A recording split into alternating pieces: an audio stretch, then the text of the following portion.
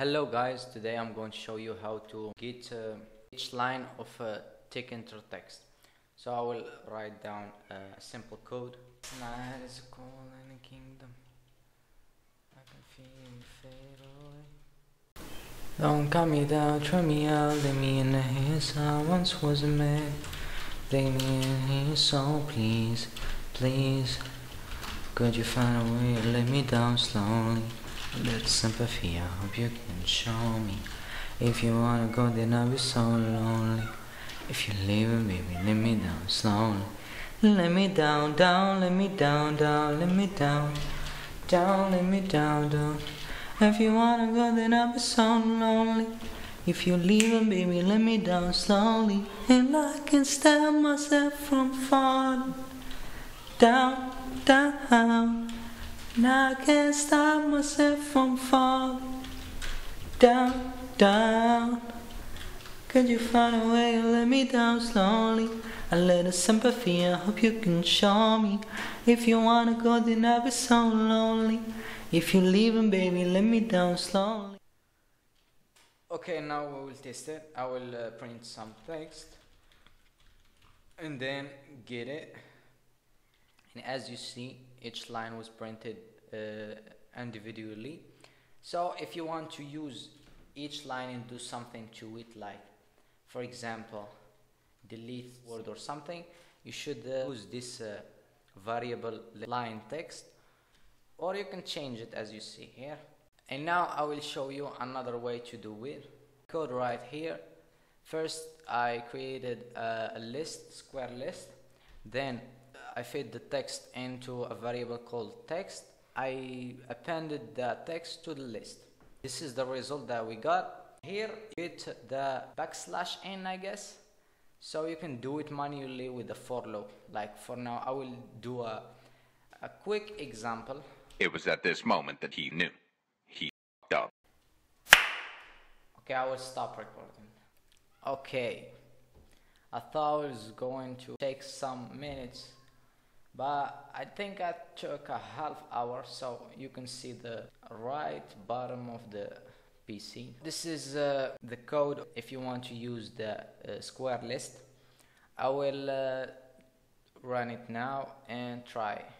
So here let's say let's say uh, the second one here we are and the third one something we will press get text and as you see each line will be printed. So uh, those are the two methods to get uh, text from the Tkinter text. Now I will explain the second code then we will go back to the first one. So here we created a new list.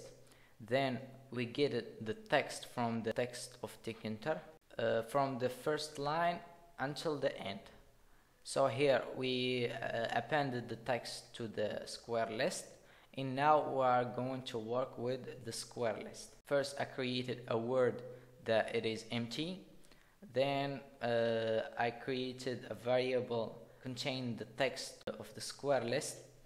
Uh, then I made a for loop. So for each, let's say the first word is let's say. In the new text variable you get that word let's say. Uh, I made a for loop uh, I get the length of the text that it is let's say.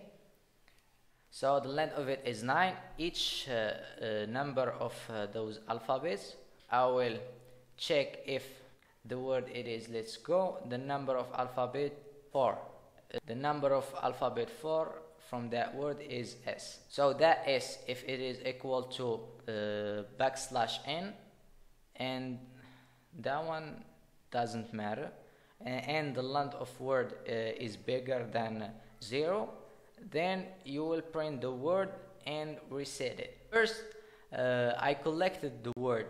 How do I did it? So s is not uh, backslash n so that means that I should uh, store it in the word variable until uh, I reach the uh, backslash n then I will print the things before it and skip the backslash n that's the idea of the code uh, maybe I will explain the second one. The second one depends on the app. I will try it again. The variable is text. Right here, enter text. The enter text is text widget. Try it again. Let's, okay, you get the word. So uh, let's say one, two, five. Let's say one, two, five. The same thing, but with a few lines, I guess. If you if we compare it to that one, also you can delete that thing, that thing, and make it directly to to your uh, enter text. First, uh, I get it the number of lines. Here uh, you will get the number of lines as a float. So let's say seven lines, you will get it like that. I want it uh, as a string. So what I did, I switched the uh, seven to a string state like that. Then I took the first uh, the first number. The first number is seven. So now we get text like that. And then I switch it to an integer. So now we get 7 purely integer. This is the number of lines. We got 7 lines. For each uh, line number in range of uh, starting from 1 until uh, 7, you will get me each line. How can I do it? By doing uh, check enter text dot get. Uh, also, check enter text is text widget. When you use get method, First, you should say the first uh, line and the second one that should stop in it. So for, uh, for us, one uh, in the second number will be 1 plus 1. Uh, it was uh, 1 like the integer, then I switch it to float. And the second one will be 1 plus 1, that mean 2. And I switch it to integer, that means 2.0 then I printed that line uh, and here it is as you see. Uh, that's all. Thank you for watching. I hope you found it useful and thank you